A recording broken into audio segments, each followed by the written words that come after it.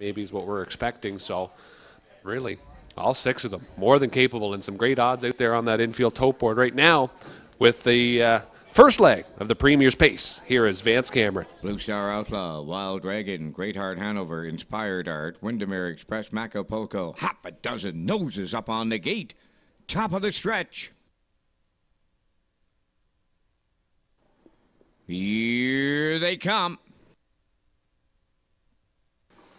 The rough end pacing Blue Star Outlaw, the first one away. Wild Dragon second. Dropping in third, Great Heart Hanover. Inspired Art fourth. Then in fifth towards the inside, that's Windermere Express. And the trailer, Macapulco. So it's going to be Wild Dragon to set up shop right on a choo-choo for Barrieau. Second towards the rail, that's Blue Star Outlaw. Racing third, Great Heart Hanover. Inspired Art is steppy there in the four hole. And McPherson looks to be putting into into the safety lane. As they pass by the quarter, moving into fourth, Windermere Express. Macapulco fifth. Now Inspired Art, the trailer. 28 seconds flat opened it up. So it's Wild Dragon rolling right along with the fractions. Blue Star Outlaw is second. Great Heart Hanover continuing third. Well back fourth is Windermere Express. Macapulco's in fifth. And the trailer, that's Inspired Art. Halfway home, it's Wild Dragon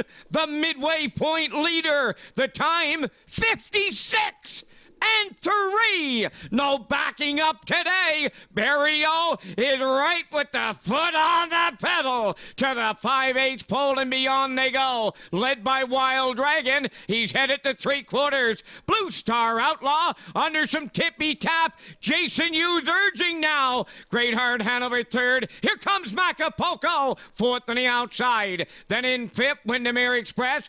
Inspired Art on the outside. The trailer. Three quarters in one. 25 and 3. It's all Wild Dragon today. Clear by 5. Macapulco is now second. Blue Star Outlaw back to third. Great Heart Hanover up the inside fourth. First leg, first division, Premier's Pacing Series. Barrieau's got a hat trick. Wild Dragon gets him there. Macapulco is second. Great Heart Hanover finishing third. One.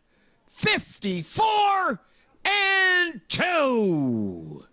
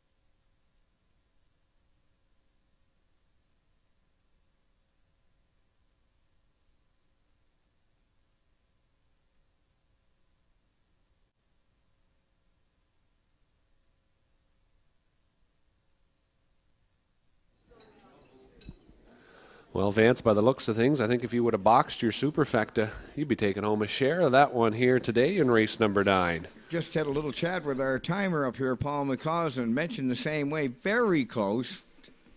I guess you're right. If you box them all up, you're going to head to the winner's circle or at least to the betting cashier's window.